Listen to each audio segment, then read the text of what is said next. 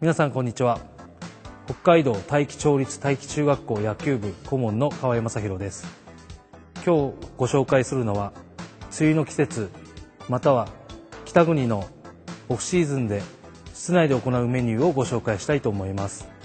限られた時間限られたスペースの中で工夫した練習方法をご紹介したいと思います。